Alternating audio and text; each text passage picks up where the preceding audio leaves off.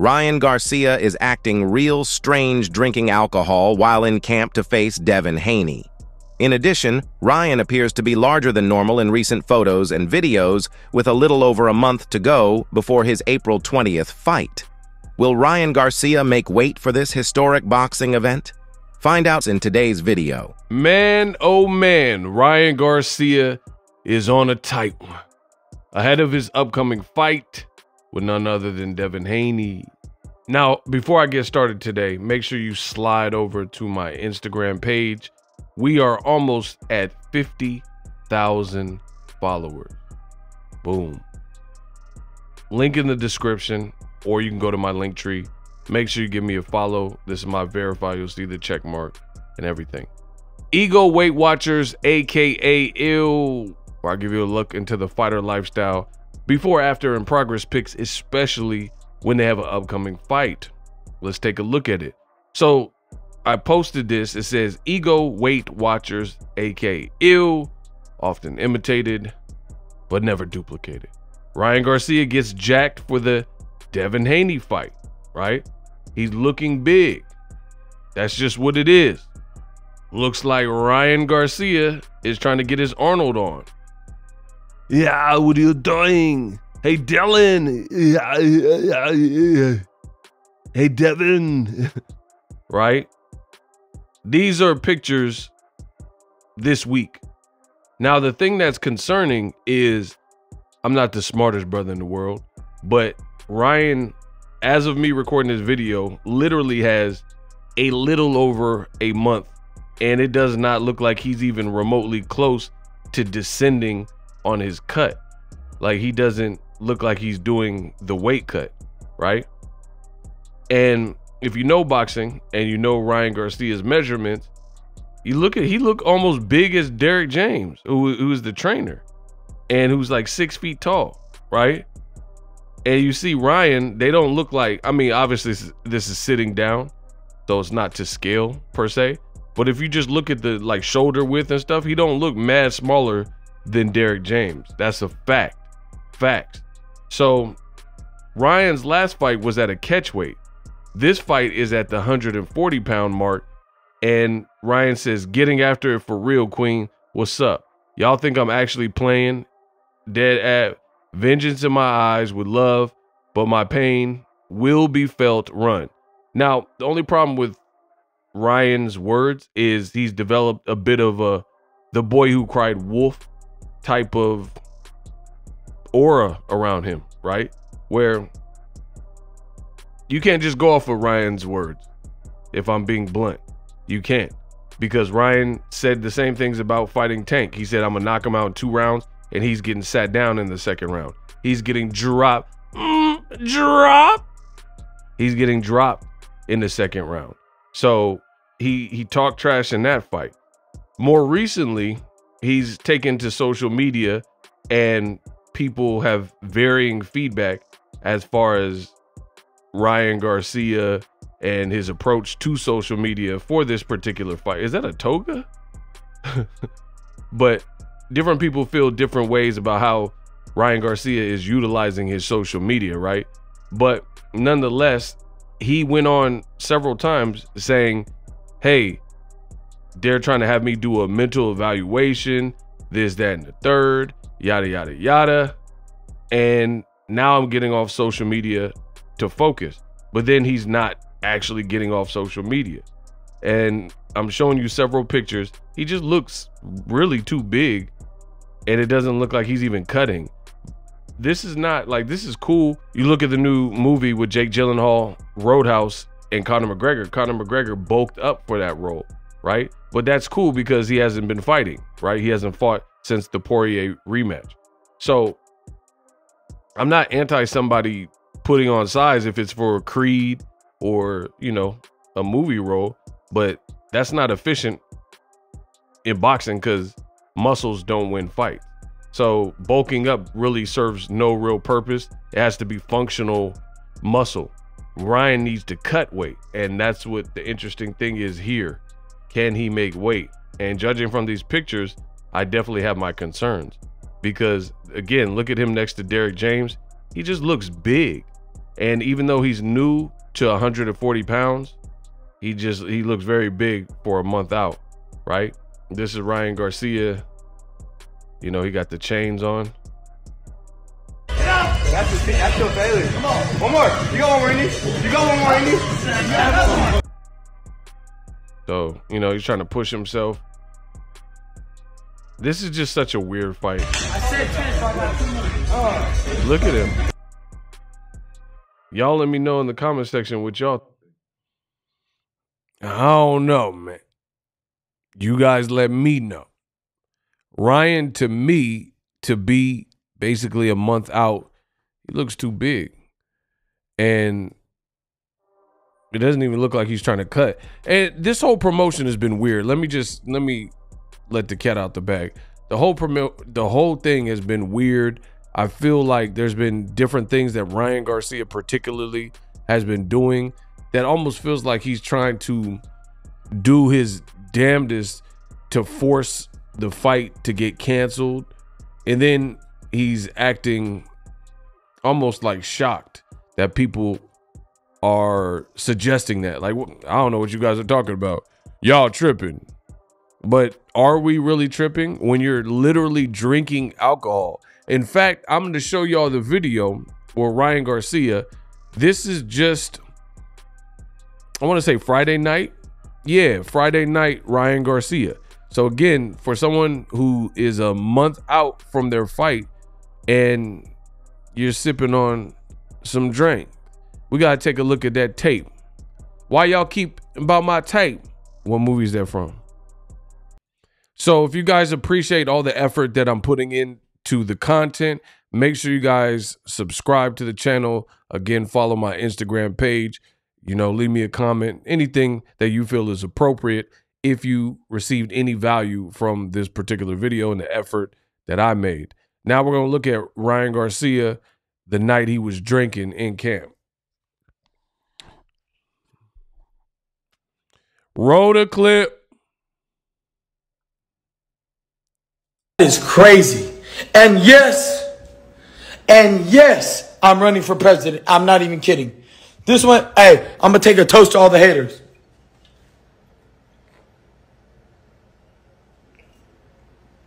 Empty, drank it all myself. What? Bro. Now, yes, and yes. I'm so first of all, he sound like he has almost like a drinking problem.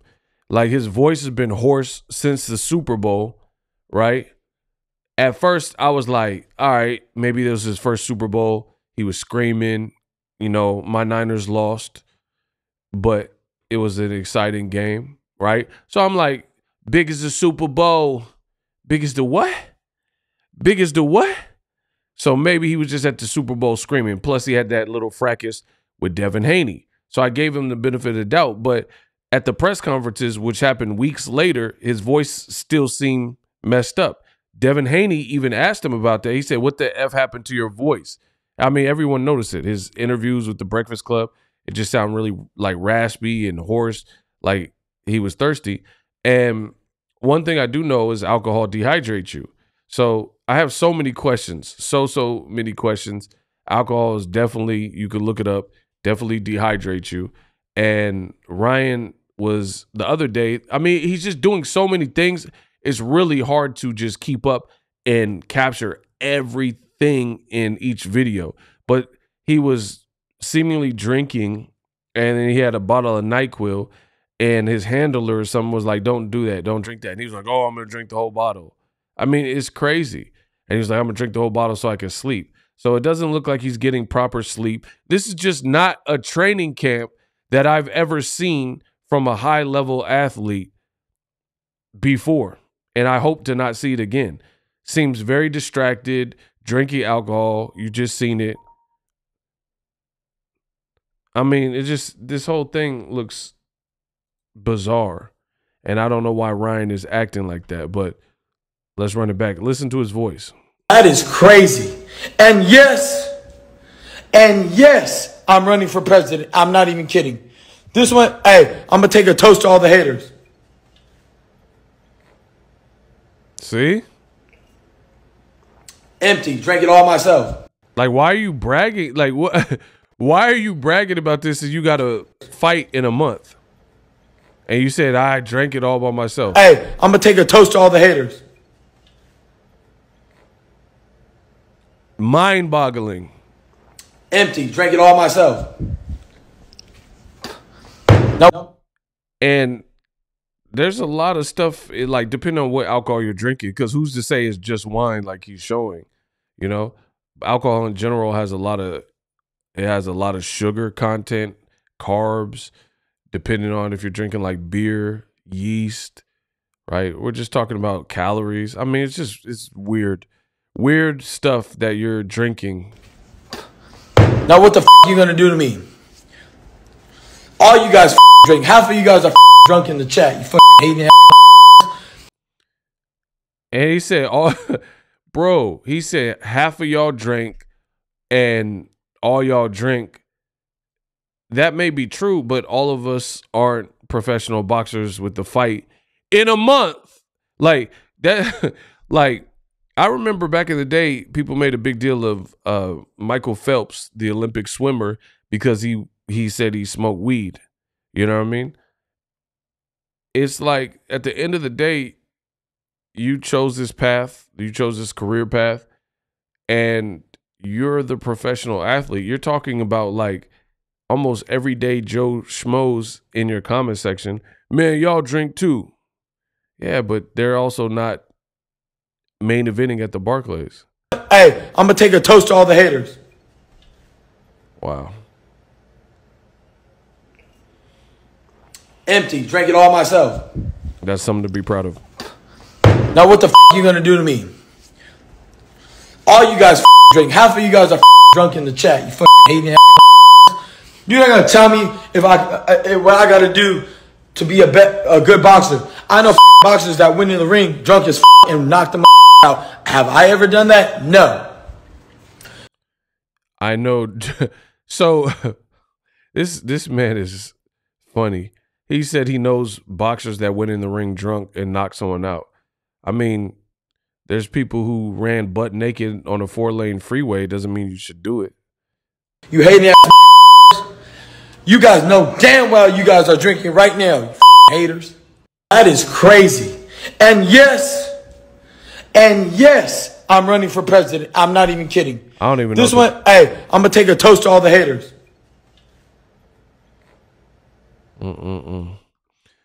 So to me, I have concerns about Ryan's weight, especially if he's openly drinking like that. After that live stream, it looks like somebody shut him down. His posts were removed, all but like all of them were removed. And if you go to his page now, like especially on Instagram, the only posts remains are like brand new posts since this deactivation.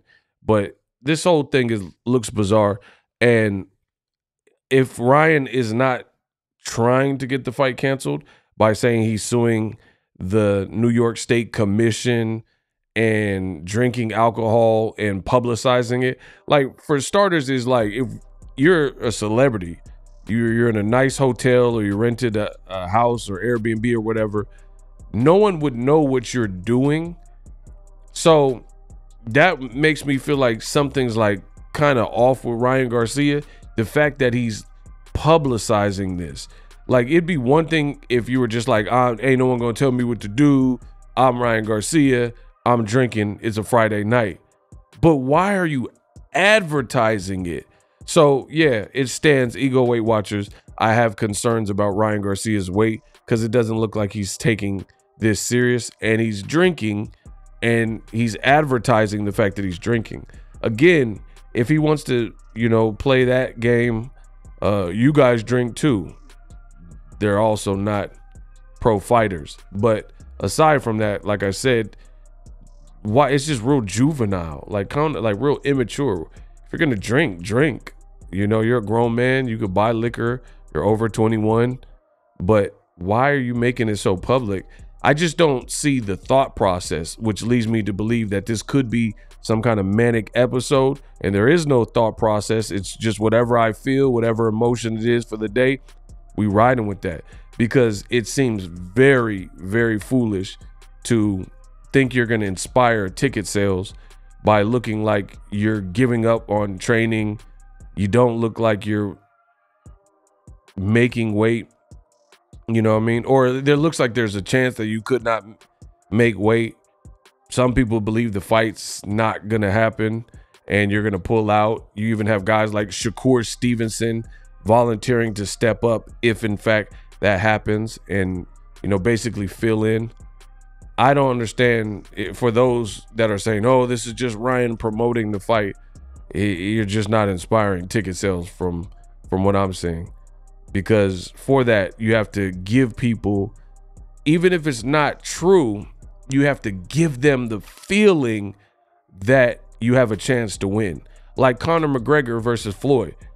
Me being a lifelong boxing head, I knew he couldn't touch Floyd with boxing gloves on in a boxing rule set. That was that was like an easy prediction. But Conor is the ultimate showman. So Conor McGregor, what he does well is he has the charisma and you know the punchlines and the gift of gab. So at least he's riling up his troops, McGregor's army, and giving them hope.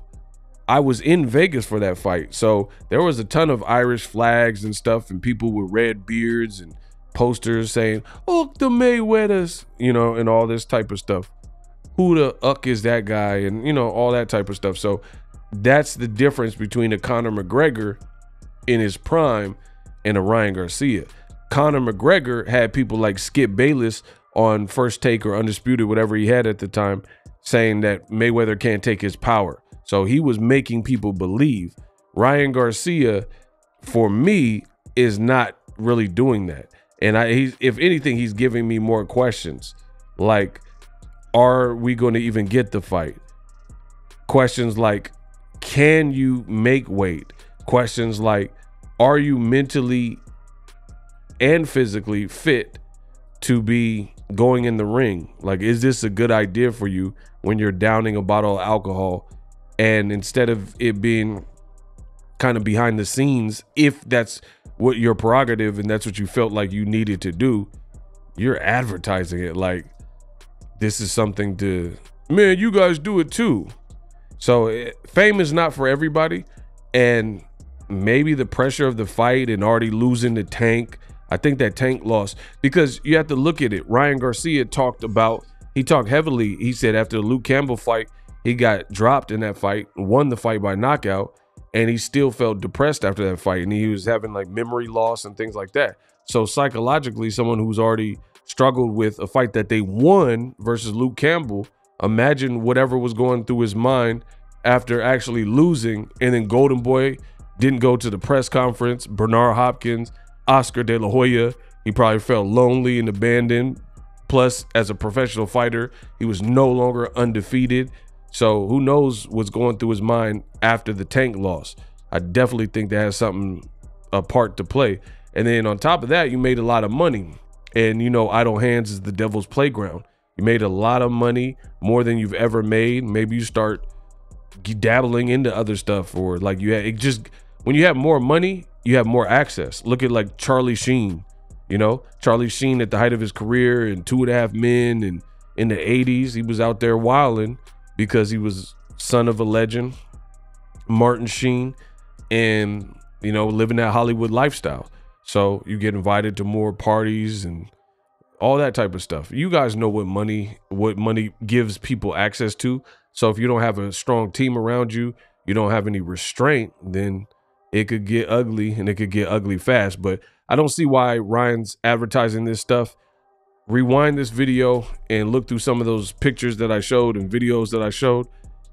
I have questions if he's going to make weight because it doesn't even look like he's cutting weight. And then he's taking things with a lot of calories and sugar and carbs and stuff like that. He literally asked in the video, I want Shake Shack. Like this just doesn't sound like the diet of it's like I don't I don't know if he's trying to sabotage it or what. But you're eating Shake Shack burgers. You can't like all the money you have. You're not gonna get a nutritionist. You're drinking wine openly. You're looking real erratic and man, I'm done.